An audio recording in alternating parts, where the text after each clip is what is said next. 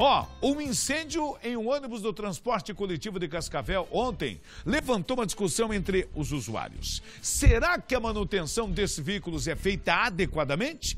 O coletivo que pegou fogo tinha 10 anos de uso. Veja a reportagem. Os passageiros desembarcavam do ônibus no terminal leste quando o motorista percebeu a fumaça. O corpo de bombeiros foi acionado, mas o incêndio foi controlado com extintores e ninguém se feriu. De acordo com a empresa responsável, o fogo começou por uma pane elétrica. Essa manutenção toda é feita pelas empresas, mas também há uma fiscalização por parte da CETRAN no sentido de vários aspectos, é, por exemplo, cuidado com o desgaste dos pneus, cuidado com a porta de elevador, com os elevadores, abre e fecha de portas, vários itens que faz parte da da CETRAN através dos agentes fiscais de transportes estar fazendo. Entre a população que usa o transporte todos os dias fica a dúvida sobre a segurança. Realmente, é verdade, né? Lataria velha, motor, mal. Se não dá manutenção, dá incêndio mesmo.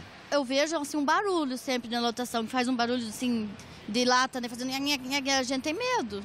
Tem. Dá a impressão que tem algum problema. É, dá a impressão que tem algum problema. Muitos ônibus são antigos. O veículo que pegou fogo é de 2008, ou seja, está em circulação há 10 anos. Não os que estão substituídos, agora aqui uns 60 dias, que já foram feitos pedidos pelas empresas, serão 11 ônibus novos, 11,20 metros, que é o modelo comum, que vai fazer a parte do entre bairros e os transbordo, terminais de transbordo, e 30 ônibus que serão só para o novo terminal novo modal de transporte, né? É, trans, é, sai dos terminais novos, vão para os outros, que é Avenida Brasil, Tancredo e Barão do Rio Branco.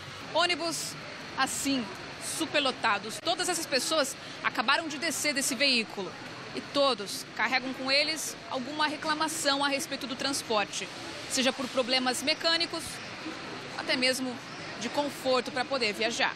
Mais banco, né? Tem pouco lugar, deve vir muita gente, mais ônibus também. Tá aí, ó. O povo não está contente não, viu?